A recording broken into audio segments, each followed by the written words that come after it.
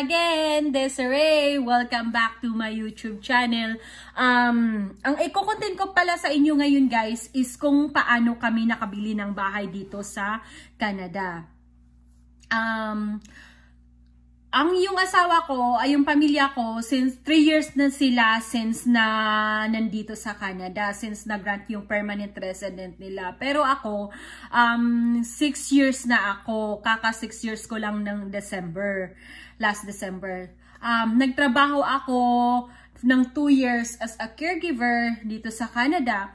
Tapos, nag-apply ako ng permanent resident after 2 years uh, kung pagtatrabaho as a caregiver. So, so um, na after 6 months, nag-grant yung um, permanent resident ko. That's why nakuha ko yung pamilya ko dito. Nakuha ko, nakuha ko yung asawa at anak ko na nandito na din sila sa Canada. Um, may mga lugar kung gusto mo talaga ng bumili ng bahay, may mga uh, pumili ka ng lugar na hindi masyado kamahalan yung bahay. La, uh, kasi kung gusto mo talagang bumili ng bahay, may, may mga lugar din na mahal yung bahay. Like for example, um, kung, kasi nasa Ontario kami, kung doon ka sa Toronto, mahal ang mga bahay doon. Like, milyon ang mga bahay doon. Uh, milyo, um, kay, compare dito sa lugar na binilhan namin ng bahay uh, yung lugar na binila namin ng bahay, hindi naman siya masyadong crowded. Um, ano siya, town lang siya. Um, pero, uh, mura, hindi masyado kamahalan yung bahay. Um, yung mga bahay dito nag-range sa 200,000 um, 300,000. May mga bahay naman na malaki na 400,000 to 500,000 Uh, pero yun ang pinaka ano dito, yung bang mahal mahal na na bahay yung 500,000, may 600,000 din. Um um so uh ang kung, kung ko pala sa inyo kung paano namin na bili yung bahay na to. Um, yung uh, yung asawa ko nag-usap-usap kami, nag uh, gusto namin gusto kami gusto namin bumili ng bahay. So, ang sabi niya sa akin, sige, magtrabaho daw siya na magtrabaho, ako ang maghahawak ng finances. So, yung lahat ng lahat ng sahod niya alam ko kasi ano nilagay niya yung pangalan ko nag-joint account joint account kami doon sa account niya. So, um, sabi niya, lahat ng pera na pumapasok dyan, ikaw na bahala. Basta ako magtrabaho lang ako na magtrabaho. Pinapag, uh, pinagkatiwala niya yung pera niya sa akin. Lahat-lahat ng sinasahod niya, lahat ng pumapasok na pera sa um, pinagtatrabaho niya sa, sa, sa account niya. Um, kasi puso nga daw niya, pinagkatiwala niya sa akin, pero pa kaya, char. so, um, so yun guys, um, uh, ano, ang ginawa ko, um, yung lahat ng sweldo niya, yun yung pang ano namin sa mga ano namin, mga grocery, yung ano namin, yung uh, um, bayad namin ng bill, bills, rent ng bahay muna. Kasi nagre-renta pa kasi kami dati ng bahay. Nag-rent muna, excuse me. Rent muna ng bahay. Tapos, tubig, lahat-lahat na mga pumapasok na bills, yun yung sahod niya, lahat. Yung sahod ko naman, yun ang iniipon ko para sa mang, para sa plano namin. Um, so, um, after a year, simula nang dumating sila dito, after a year, nag, nag-ipon kami. So, um, binili namin, bumili na kami ng bahay. After a year nilang nagpunta dito sa Canada, bumili kami ng bahay. Kasi, sayang din naman kasi yung rent ng renta lang kami ng renta tapos hindi naman mapapasa amin yung bahay. So, yun ang ginawa namin. Yun ang goal talaga namin yun, guys. Um sa ano kasi, dito kasi sa Canada, mahirap din kasi pag um pag ano, wala kang goal ba na ay okay lang, yung ano kailangan mo din talagang mag-sit aside, may goal ka para alam mo kung ano yung mga next steps na gagawin mo. sa buhay. So, um, uh, after a year na kuha namin yung bahay na to, um, pag ang una ang unang ano mo, ang unang parang ano dito sa Canada pag bumili pag bumili ka ng bahay is kailangan may good history ka ng credit. Credit history. Tapos um, kailangan din mag ano ka mag-build ka ng credit kasi pag hindi ka nag-build ng credit ay hindi ka parang malabo kang i-grant ng bangko kung kukuha ka ng mortgage.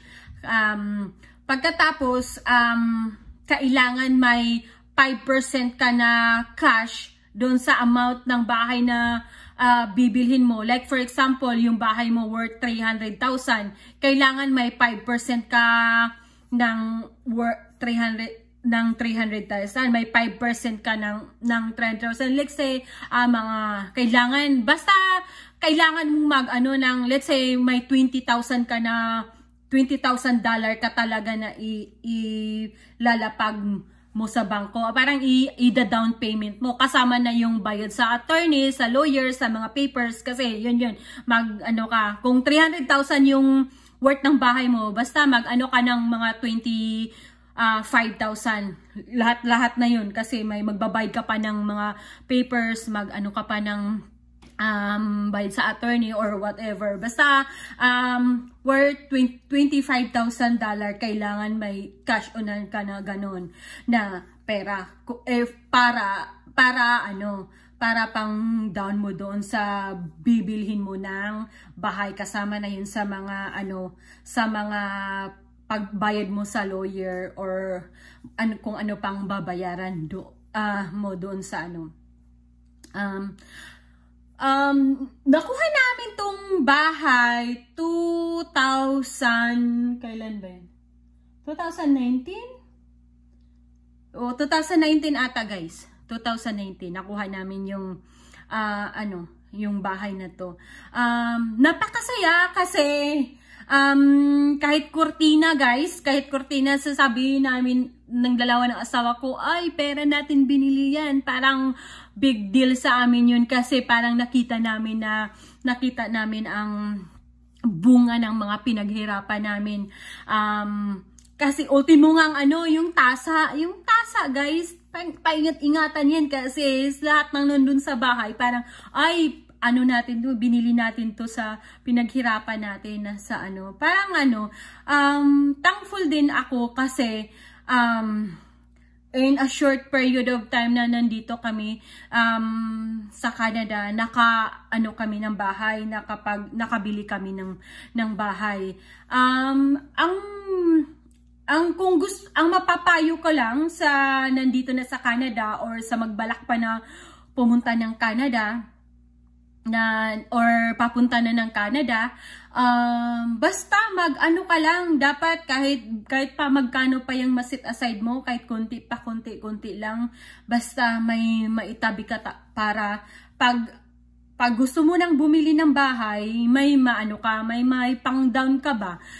Tsaka uh, mas maganda din guys kung bumili ka ng bahay malayo sa city kasi mas makakamura ka Tsaka, mas makaka, ano ka, makaka tipid ka ba? Hindi yung, ano, hindi yung dun sa city, bibili ka, maka, I mean, hindi makatipid, maka-afford mo bumili ng bahay kahit pa hindi ka magtrabaho ng magtraba, magtrabaho ng double job. Kasi usually dito, pag may bahay ka, kailangan mo ng ikaw na magbabayad lahat sa heating, sa lahat ng may tax pa, property tax, lahat-lahat shoulder mo na yon um, pero um, kami hindi naman uh, sa una uh, sa una mahi, mahirap kasi kailangan kung ano-anong mga uh, hindi mo pa galamay kasi nasanay ka nga na monthly monthly ka lang magbabayad. Basta magbayad ka lang ng rent, okay na. Pero pag sa'yo na yung bahay, ikaw na yung lahat ng bills ng bahay. Kung may sira sa, sa bahay, kung may ano sa bahay, sa'yo na lahat. Kaya kailangan mo din may konting ano din, konting savings din kasi kung may sira, at least mapaayos mo kaagad. Ipapakita ko sa inyo guys ang kung ang bahay namin. Nagpick ako ng picture. Um, ilalagay ko ang ang mga picture sa dito sa dito. Hindi ko na lang vinidyo kasi um, i-comment nyo na lang kung gusto, i-comment down below kung gusto nyong ng house tour. I-house tour, ha-house tour ko next vlog ko. But for now, picture mo na ang makikita nyo sa binili namin ng bahay na to.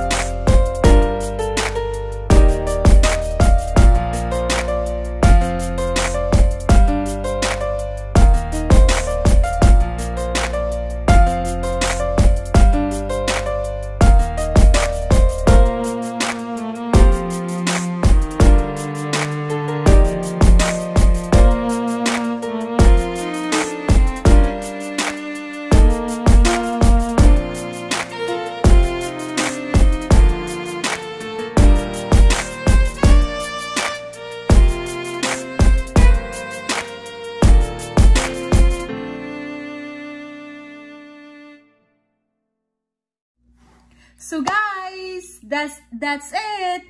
Um I hope na nag-enjoy kayo sa um, pakikinig sa panunood sa vlog ko.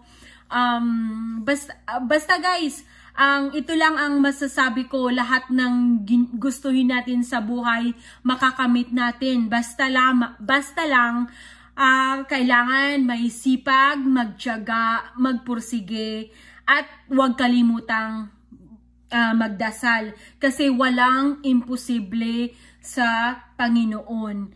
Um, kung magsumikap ka lang, magdasal ka lang, magpursige, uh, lahat ng gusto mo sa buhay ay makakamit ma at makakamit mo rin.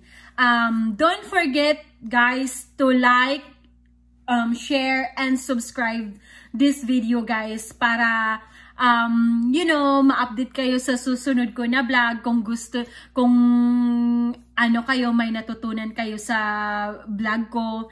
Uh, maraming maraming salamat. See you in my next vlog, guys. Bye!